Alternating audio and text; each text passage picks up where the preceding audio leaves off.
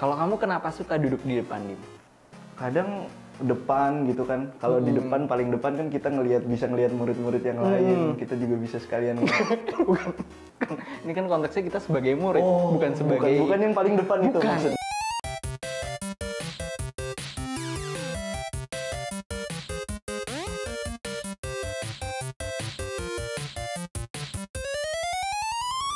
Halo teman-teman semua, kenalin aku Dimas dari jurusan Ilmu Ekonomi angkatan 2021. Halo, aku Mia dari Akuntansi Angkatan 2021. Halo, aku Vincent CK dari Manajemen Angkatan 2021. Halo, aku Rahma dari Manajemen Angkatan 2021. Pada Game On episode keempat ini, kita bakal seru-seruan bareng nih. Kita akan main game yang kayaknya mainnya harus jujur-jujuran deh. Wah, kira-kira kita bakal main tebak-tebakan apa ya? Nah, jadi kita bakalan main this or that, di mana kita harus milih dua pilihan yang bakal dikasih tahu sama host nih. Gitu, teman-teman. Kira-kira this atau that nih ya. Daripada penasaran, yuk langsung kita mulai. Ready? Set, Go! Oke, pertanyaan pertama, this or that, jadi mahasiswa kupu-kupu, kuliah pulang kuliah pulang, atau mahasiswa pengacara, pengangguran banyak acara. This. That. This. Nah, kamu kenapa that, Dim? Kamu kok this? Kenapa tuh kamu dis? Soalnya aku ngerasa di semester 6 ini tuh kayak nggak ada apa-apa gitu loh, jadi langsung pulang aja. Jombo juga kan mahasiswa tua, jadi kayak udahlah pulang aja. Lagian juga aku udah nggak ada ini ikut organisasi. Kalau kamu kenapa that? Aku dat karena mungkin karena aku ekstrovert ya anaknya. Jadi kayak lebih enak enak tuh kalau uh, pulang kuliah masih uh, main sama teman-teman gitu. Terus kalau misalnya pulang kuliah langsung pulang ke kosan tuh bawaannya pengen tidur gitu loh, jadi sangat tidak produktif. Jadi aku pilih dat. Kenapa kamu pilih this? Nah, jadi aku milih this gara-gara di aku ngalaminnya kalau aku ngomong apa sih aku bisa diulang? Oh, kalau aku berasa di semester ini aku lebih suka kuliah pulang kuliah pulang karena aku ngerasa kayak udah nggak ada urgensinya nih di kampus karena eh, matkulnya udah selesai dan kayak nggak ada urusan organisasi lagi karena udah lepas juga. Jadi aku sih lebih cenderung semester ini kuliah pulang kuliah pulang sih, Dim. Mungkin ada juga tuh kupu-kupu yang baru. Apa itu? Kuliah perpus, kuliah perpus. Iya nggak sih? Ngerasain nggak? Iya. Next question. Oke, lanjut.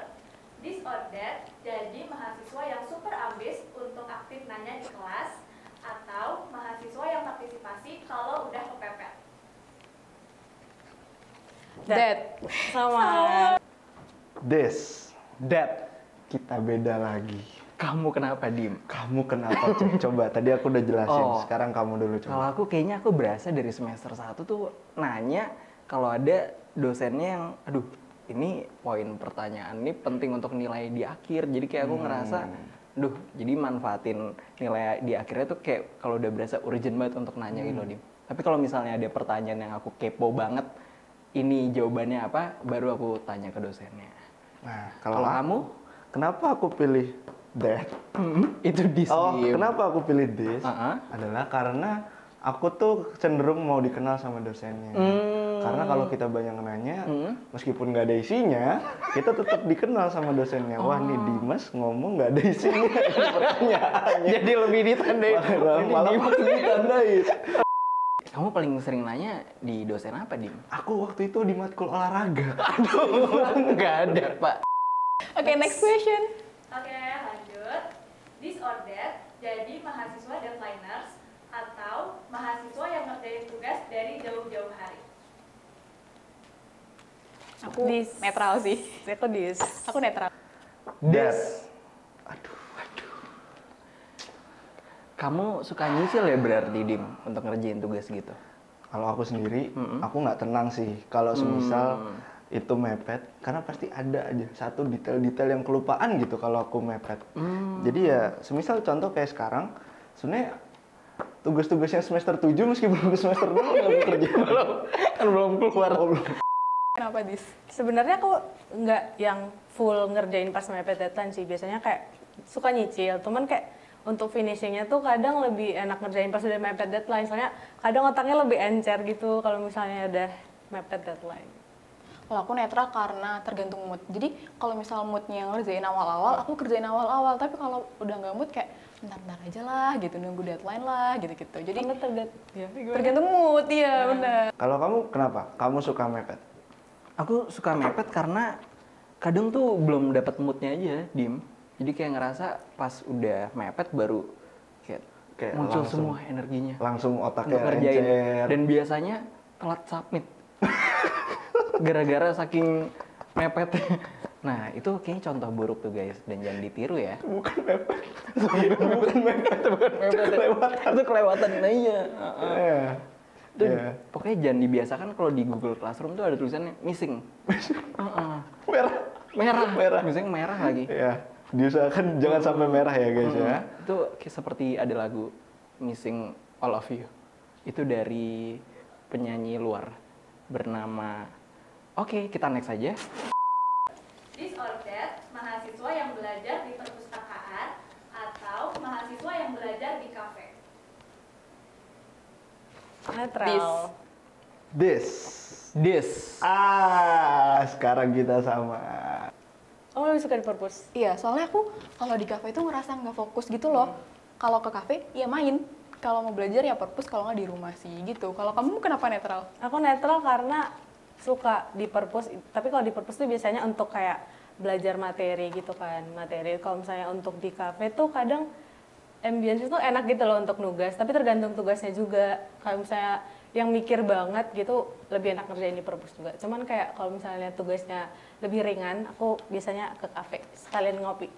Bahkan kadang kafe tuh enak tapi musiknya mengganggu. iya nggak sih? musiknya mengganggu. At least untuk kita lah ya. Heeh. Mungkin kalau musiknya lo-fi, aku ke sana ke kafe. Hmm. Karena musiknya itu dari missing all of you tadi, yang dari penyanyi luar sana, jadi aku nggak fokus. Jadi kayak aku better suasana yang tenang seperti Purpose itu cocok sih buat aku untuk bisa konsen belajar. Iya.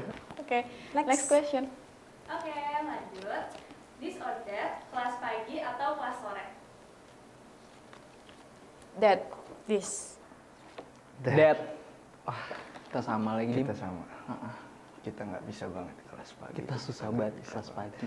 Kenapa, Kenapa? kamu lebih enak kelas sore? Soalnya kalau kelas sore itu pertama bangunnya nggak perlu pagi.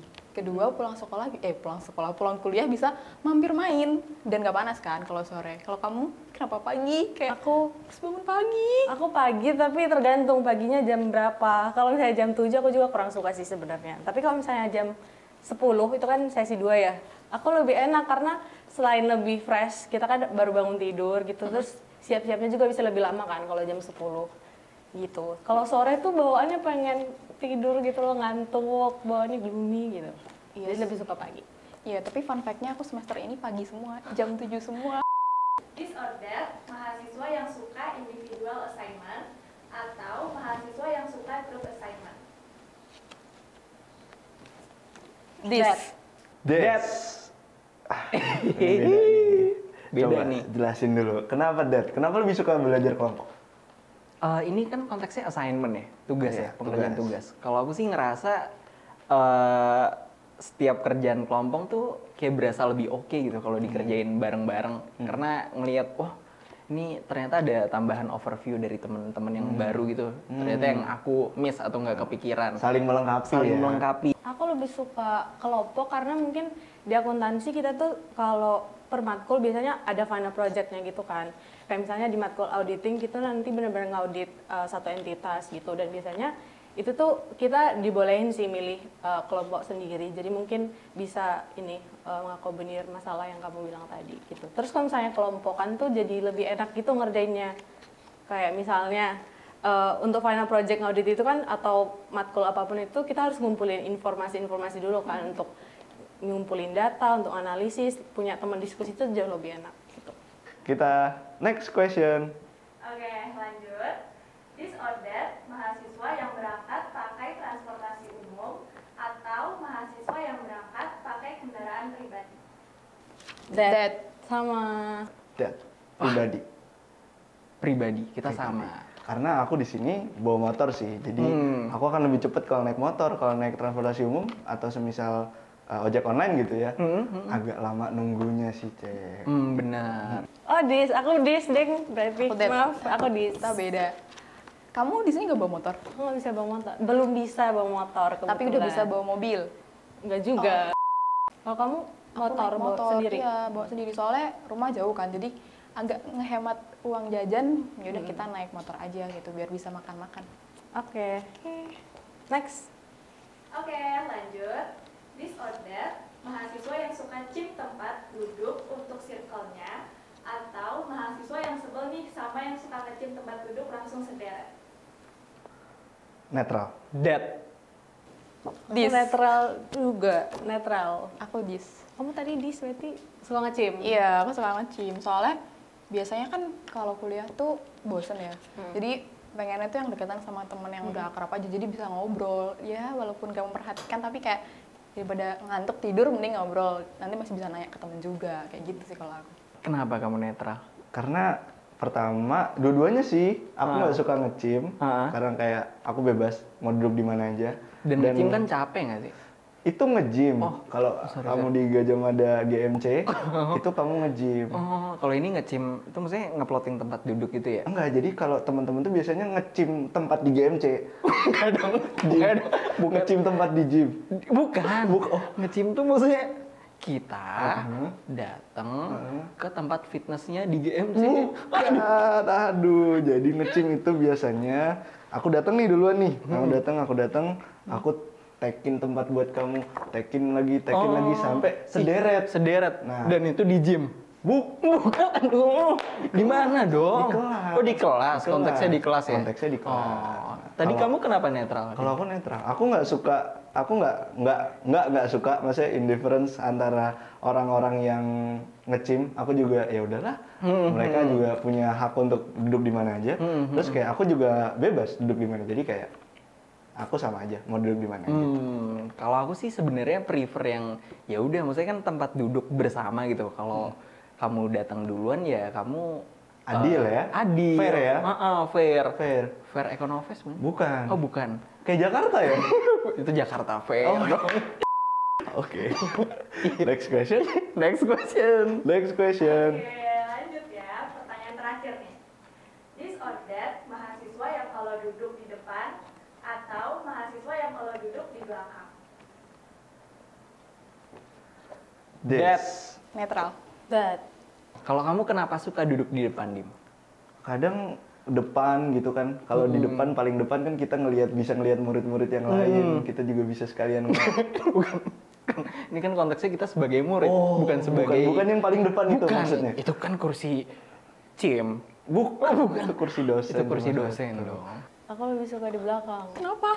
Karena kalau di depan tuh pressure-nya tinggi, Iya jadi sih, lebih bener. suka di belakang. Bener, bener, Tapi sebenarnya lebih suka di tengah, di tengah yang dekat jalan di tengah itu loh. Oh iya. Itu akses ke papan tulis kan bisa lebih dapat juga meskipun yang nggak yang paling depan gitu. Kalau aku tengah tapi jangan yang deket jalan. Nanti kalau dosen lewat kayak aduh deg-degan nggak Iya. bisa nggak bisa main handphone aduh maaf ya buat cari materi maksudnya Iya, buat cari materi. dibuka di laptop buka di handphone gitu Wah, ternyata pertanyaan tadi jadi pertanyaan terakhir di Games On episode 4 kali ini. Dan pertanyaannya cukup menantang ya. iya sih tapi jadi sedih nggak sih nggak kerasa gitu cepat waktunya Nggak apa-apa nggak sih? Kan sekarang teman-teman jadi tahu kita tim mahasiswa kayak gimana. ya sebenarnya sedih banget sih harus berakhir gini tapi jangan khawatir teman-teman kita masih punya banyak games lainnya di episode games on selanjutnya Wah, kira-kira bakal ada tebak-tebakan apa lagi ya? Nah, makanya jangan lupa buat subscribe channel YouTube-nya FEB UGM dan akun Instagram kita at FEB UGM buat tahu konten kita yang akan datang. Benar banget. So, see you on the next episode of Go Game